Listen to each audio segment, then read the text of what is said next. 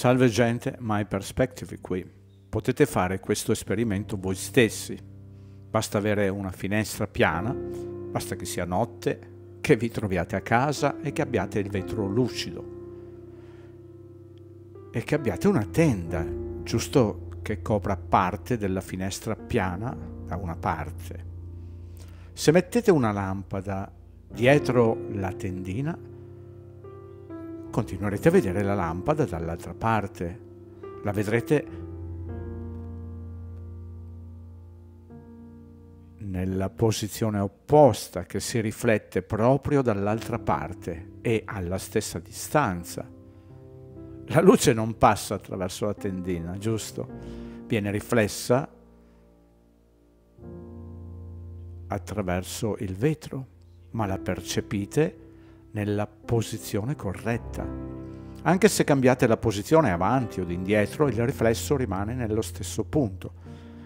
Ora, anche se ruoto tutto questo sistema in un'altra posizione, il principio rimane lo stesso. Noi continueremo a vedere il riflesso. Ad esempio, questo signore vedrà il riflesso della luce che punta verso di lui, giusto? E questo è come vediamo la luna ed il riflesso della luna. Se spostate la vostra posizione dal riflesso, si muoverà sempre verso di voi. Non importa dove andate a posizionarvi. Come è stata scattata questa fotografia? La luce indica sempre la luce sull'oceano, sull'acqua che punta sempre verso di voi. Quindi il principio è lo stesso, giusto? Ora, se osservate l'esperimento che avete fatto a casa ed applicate quello che avete visto nel mondo reale, accadono le stesse cose. Ve l'ho già detto che l'oceano è piano. Se cambiamo la luce con la Luna, giusto? Se allontaniamo la Luna a 400.000 km là dietro e voi rimanete su un corpo curvo di acqua, tutto il sistema cade a pezzi, non funziona. Noi vedremmo il riflesso della luce dall'altra parte della palla. Non lo vedrete di fronte a voi, come invece lo vediamo. Giusto? Tutto quanto sarebbe differente. Quindi questa fotografia sarebbe impossibile se vi trovaste su un corpo d'acqua curvo, con la Luna che si trova lontana 400.000 km nello spazio. Questo è l'artista William Turner. Ora osserviamo questo quadro. Guardate come ha dipinto le nuvole davanti e dietro la Luna in una notte dove ha creato questo come vedeva con i propri occhi. Osservate come si riflette la luce dietro l'imbarcazione, in lontananza e davanti, davanti alla barca. Il che significa che la luna è una luce locale, la luna è la luce, come una lampada, non è un pezzo di roccia, è una luce ed è una luce vicina perché se osservate questa luce nelle nuvole la vedete in un'area locale con le sue nuvole sul corpo dell'acqua vi fa vedere la luce in questo modo. L'oceano è piatto, i vostri occhi lo mostrano che non c'è alcuna curvatura sull'oceano e William Turner aveva capito questo. Ora, se vi dico che la luce del sole rimbalza dalla luna, e rimbalza da questa costruzione e questo è il modo in cui viene illuminato il palazzo e tutto quanto attorno vedete che è nero e buio, mi direte che non c'è alcun senso, i palazzi vengono illuminati, i palazzi hanno una fonte di luce.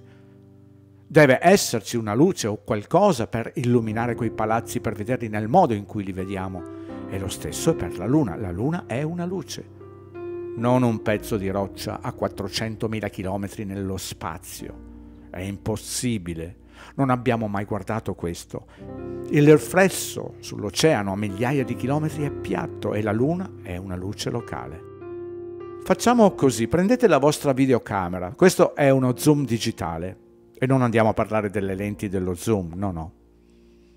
Potete vedere la struttura della luna abbastanza chiaramente, giusto?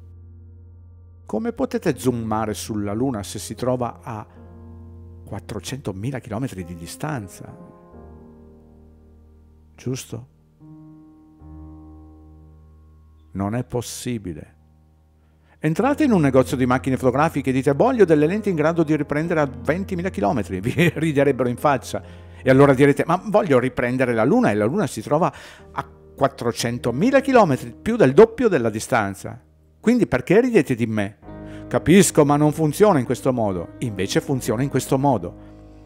Il telescopio ha una portata limitata, le lenti della vostra fotocamera hanno uno zoom limitato di lente focale. Non potete vedere e zoomare a 400.000 km di distanza.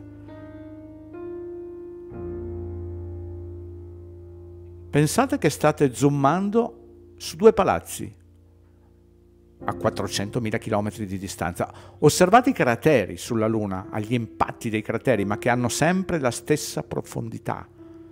I crateri sono sempre larghi, più larghi di quanto sono profondi, ma non c'è profondità sui crateri della Luna, giusto? Ora, quel cratere nella parte bassa, Tycho, giusto? Il nome che è stato dato dall'astronomo danese Tycho Brahe è di 86 chilometri è grande come la città di New York. La città di New York può contenere quel cratere. Quindi se zoomate sulla Luna, volete dirmi che riuscite a zoomare a 400.000 km sulla città di New York? Non è possibile. La proporzione di quel cratere e della Luna non funzionano. La Luna è probabilmente un quarto della grandezza della Terra. Quindi non si tratta di una sola cosa, ma di un sacco di altre cose. E se le mettiamo tutte quante insieme ci dicono che ci hanno mentito. Nulla di più semplice di questo sul vero mondo.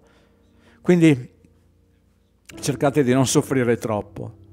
Riprendete un piccolo uccello, alcune nuvole e quando andate a zoomare, andate a zoomare lo spazio profondo, proprio sulla Luna con i vostri obiettivi e l'effetto che vedete della Luna durante il giorno significa che state vedendo oltre la Luna. È la cupola, è il firmamento, è un corpo solido di acqua. Questo è il motivo per cui vediamo la Luna bianca. Lo stesso come succede per le nuvole. C'è qualcosa dietro alla Luna e questo è perché la vediamo. Quindi se osservate alle lenti focali della fotocamera e le usate come un telescopio, quando zoomate sulle cose ad una certa distanza, mettendo il teleobiettivo sulla vostra fotocamera, incrementa la focale delle vostre lenti e l'orizzonte rimane nella stessa posizione, aumentando la focale, il che significa che potete zoomare e che tutto si porta più vicino. E lo stesso è per la Luna e per le nuvole. Se la Luna fosse a 400.000 km di distanza, quando andate a zoomare su una nave ed andate a zoomare avanti e indietro, non avrebbe alcun effetto sulla Luna perché la Luna sarebbe troppo lontana, tanto che non sareste in grado di portarla dentro alla focale.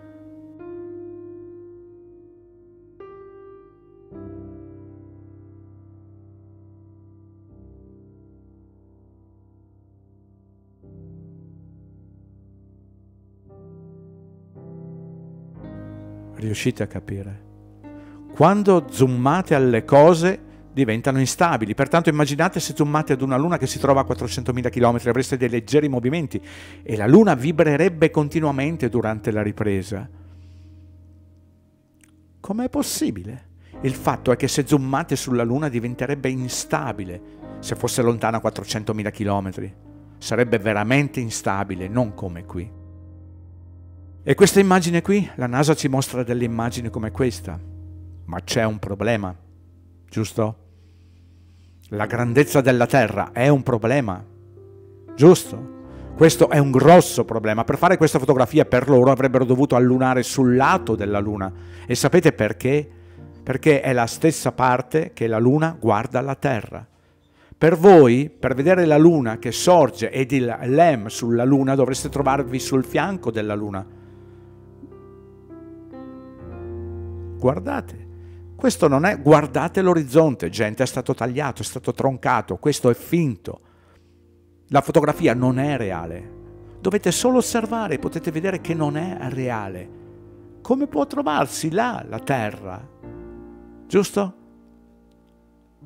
Voglio dire, se foste sulla Luna, dalla stessa parte che guarda la Terra, giusto? Per voi,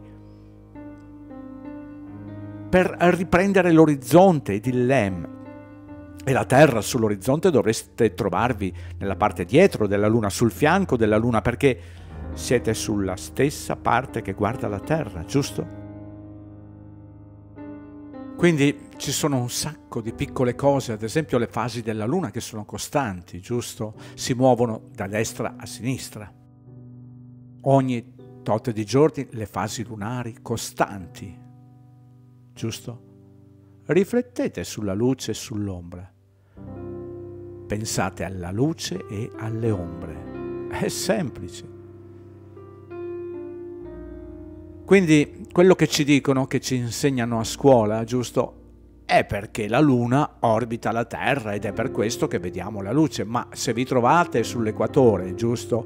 La luce non si deve muovere da sinistra a destra, ma si dovrebbe muovere dall'alto in basso.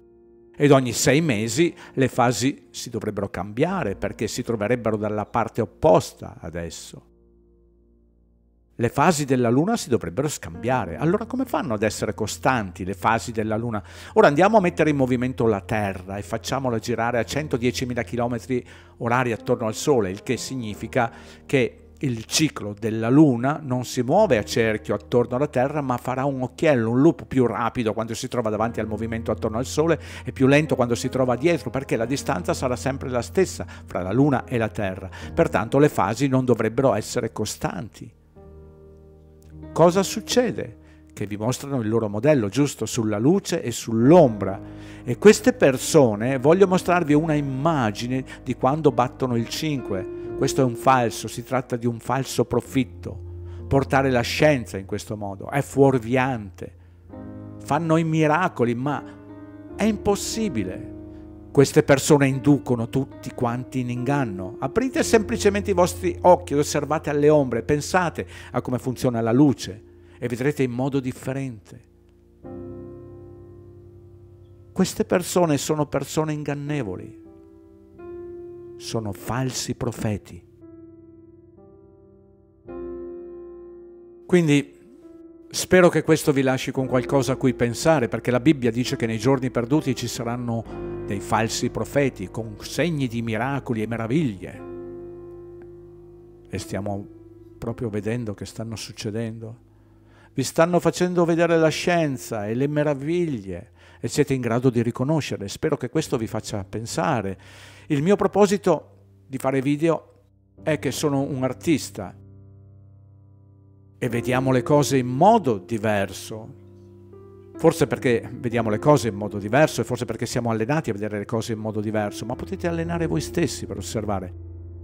Se vedete in modo diverso è divertente, ma è un problema questo e potete condividere tutto ciò, ma il punto è che il mondo dove viviamo è una falsa illusione e non potete vivere nella falsa illusione di dove siamo adesso.